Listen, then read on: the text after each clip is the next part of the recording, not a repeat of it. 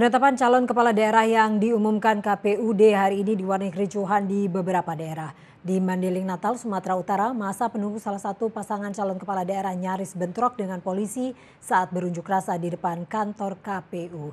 Di Indramayu, Jawa Barat, puluhan relawan calon bupati meluapkan kemarahannya menuntut kejelasan calon bupati.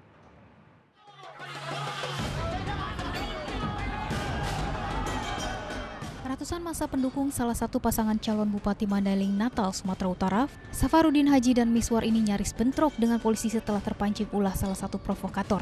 Dalam aksi yang digelar di depan kantor KPUD Mandailing Natal ini, masa mendesak KPUD meloloskan pasangan calon bupati yang mereka dukung pada penetapan pasangan calon bupati yang akan diumumkan KPUD serentak hari ini.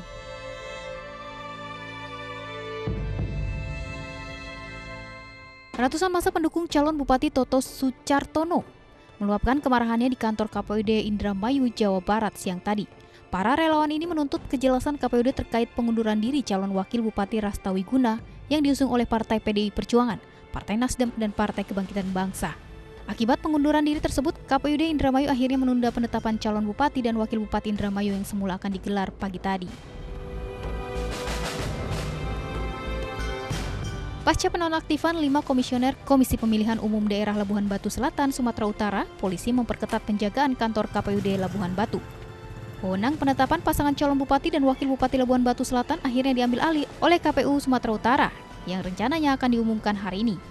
Sebelumnya, lima anggota KPU Labuhan Batu dinonaktifkan karena melakukan pelanggaran administrasi dalam proses pendaftaran bakal calon bupati.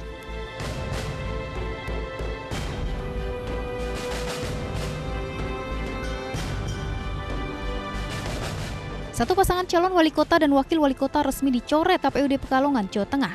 Pasangan yang dicoret adalah dari jalur independen, yaitu pasangan Sujaka Martana dan Fauji Umar Lahji. Pasangan tersebut dicoret karena tidak melengkapi berkas persyaratan administrasi dan berkas dukungan. KPUD Kota Pekalongan akhirnya menetapkan tiga pasangan calon wali kota dalam pilkada serentak. Tim Liputan MNC Media memberitakan.